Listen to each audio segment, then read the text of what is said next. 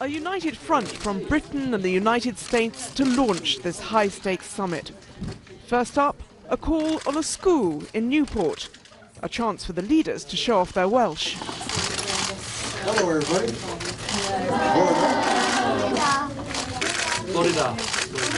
But behind the smiles, a grim recognition that NATO countries are facing multiple threats as never before and need steely determination to counter them. The threat from extremists of Islamic State is the most dangerous challenge. Even before the latest video of a hostage murder, President Obama had sanctioned airstrikes against them. Now David Cameron is hinting at British involvement. Well, I certainly don't rule uh, anything out. We should pursue our national interest, as I've said. I think the most important thing, though, to consider is that we mustn't see this as something where you have a Western intervention over the heads of uh, neighbouring states and leaving others to pick up the pieces. And though this escalating instability in the Middle East is not on NATO's summit agenda, the Secretary General isn't ruling out NATO involvement either.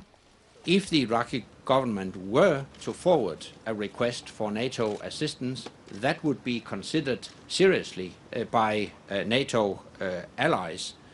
And then there's that other looming threat on NATO's doorstep, faced by Ukraine from an increasingly aggressive Russia, the same enemy NATO was set up to defend Europe against some 60 years ago.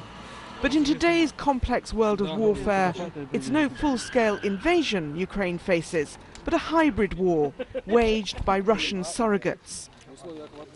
Briefing NATO's leaders this morning, Ukraine's President Pyotr Poroshenko. Alarmed by Russia's aggression, his government has reactivated its bid to join NATO.